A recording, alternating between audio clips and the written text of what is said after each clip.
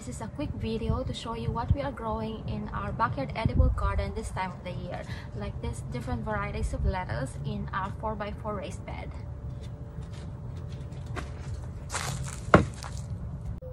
These are purple sprouting broccoli. And then here we have some purple bok choy. And then in between we have some uh, onions. We have arugula here and some carrots from seeds. We have mustard and Chinese cabbage. Here we have broccolis. We have tatsoi too.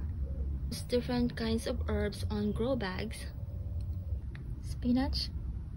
That's it for now. I'm going to show you more in the next video